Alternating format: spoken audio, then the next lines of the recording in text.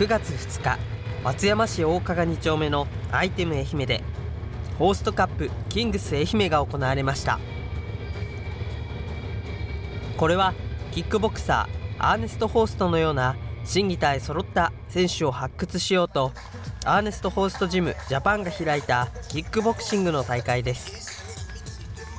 今回は西日本豪雨の被災地を支援するチャリティーとしても行われ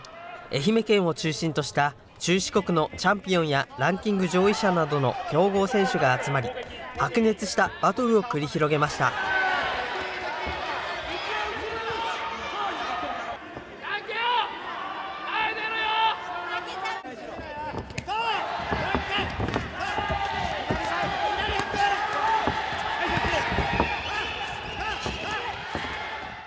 私は出身地愛媛県で大会を開催開催させていただきまして無事成功することができました。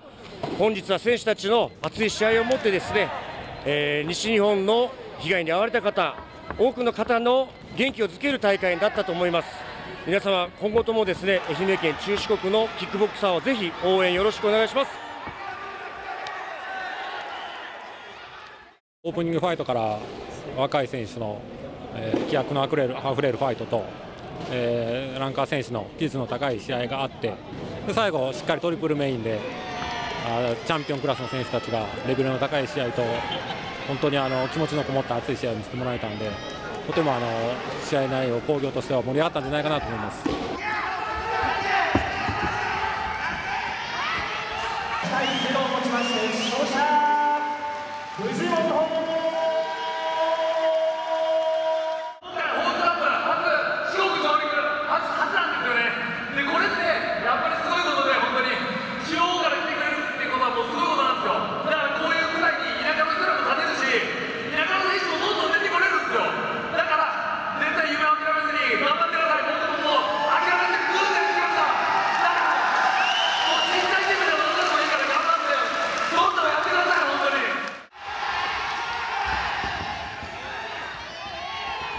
選手たちが繰り広げる熱い戦いに歓声が上がり